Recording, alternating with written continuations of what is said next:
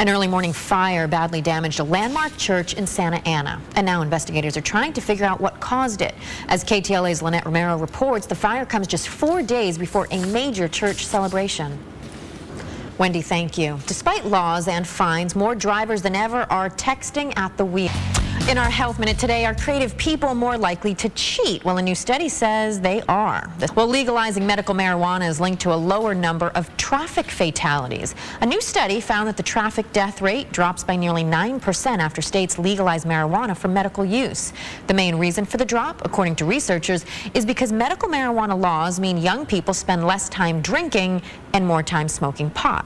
For the latest health news, click on ktla.com slash health. Yeah, right.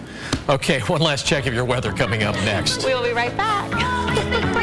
Violence triggered a campus-wide lockdown and search, and for many, it was a traumatic reminder of the 2007 rampage that left 33 people dead.